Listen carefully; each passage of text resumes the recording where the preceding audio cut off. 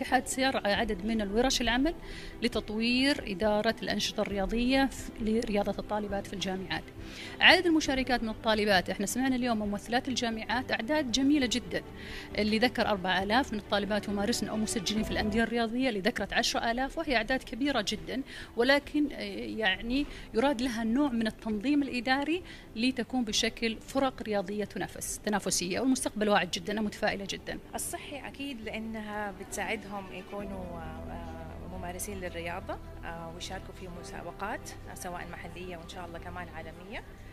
آه نفسيا أكيد أنت عارفه إنه الرياضة بتخليهم يطلعوا كل الستريس والطاقة السلبية اللي فيهم ويكونوا أصحاء أكيد أكثر طبعا هذه هذا يتوافق مع رؤية المملكة 2030 بالاهتمام بالصحة والرياضة والوصول إلى عدد معين في 2020 و 2030 آه طبعا الرياضة لها آه جانب جدا مهم في